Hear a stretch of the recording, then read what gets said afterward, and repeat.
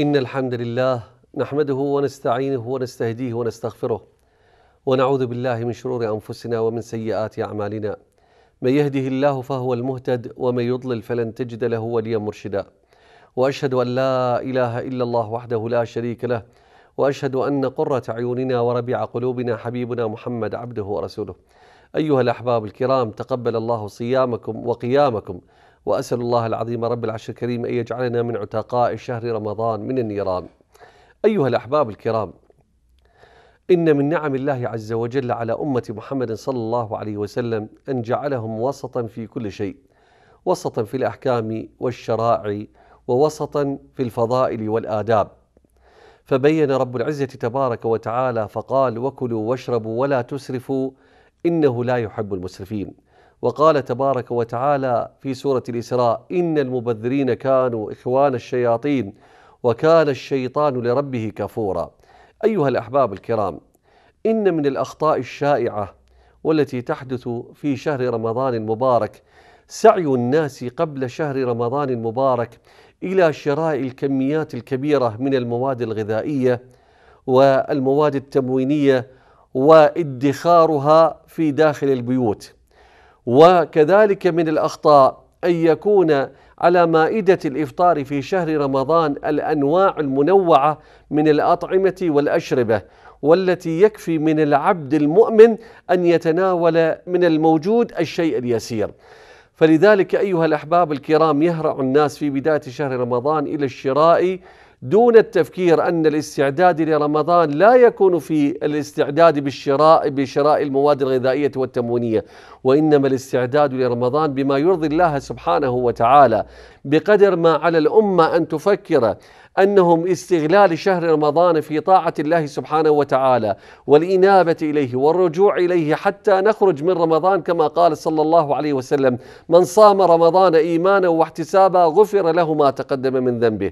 فنحن نسعى إلى مرضاه الله عز وجل لا نسعى إلى أن يكون في شهر رمضان شهر الإسراف وشهر التبذير وشهر رمي النفايات الكثيرة من الأطعمة التي هي فائضة عن حاجة المسلم. ولقد كان حبيبكم صلى الله عليه وسلم يعلم الأمة أن تأكل وتشرب دون الإسراف.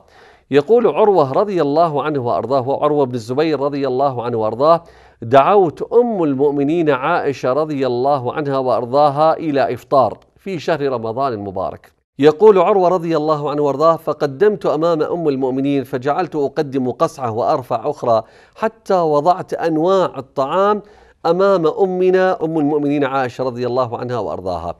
يقول فنظرت إلى الطعام ثم التفتت إلى الحائط فجعلت تبكي رضي الله عنها وأرضاها.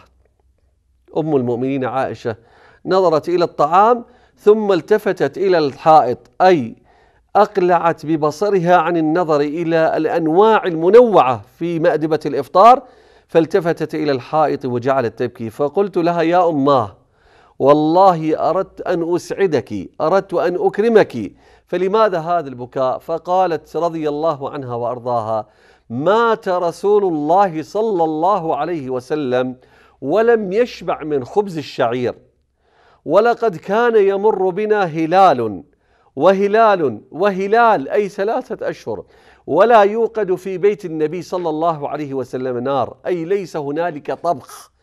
لا يوقد نار أي ليس هنالك ما يوضع على النار من شيء يطبخ.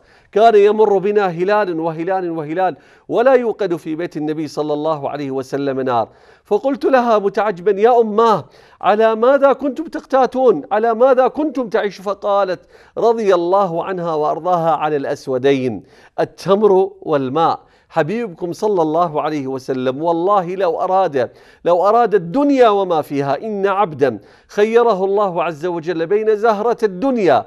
وما عنده فاختار ما عند مولاه. كان بإمكانه صلى الله عليه وسلم أن يأكل من أحسن الأصناف ومن أحسن الأنواع ولكنه صلى الله عليه وسلم جعل حياة آل محمد صلى الله عليه وسلم وعلم الصحابة أن يكون طعامهم ورزقهم كفافا أي ما يسد به الرمق. نحن أمة لا نأكل حتى نجوع. ولا ولا نسرف في في في طعامنا وفي شرابنا. فلذلك أيها الأخ الكريم أيتها الأخت المسلمة احرصي على أن لا يكون هنالك ما يرمى في الحاويات. ترى العجب العجاب في شهر رمضان في الحاويات ممتلئة بالأطعمة الفائضة عن حاجة المسلم. احرص أيها الأخ المسلم أختي المسلمة أن يكون الطعام شهر رمضان ما يكفي ويسد رمق بحيث أنك إذا إذا جلست على الطعام تأكل وتشرب دون الإسراف والتبذير. جعلني الله وإياكم ممن يستمعون القول فيتبعون أحسنه. وصلى اللهم على سيدنا محمد وعلى آله وصحبه وسلم تسليما كثيرا.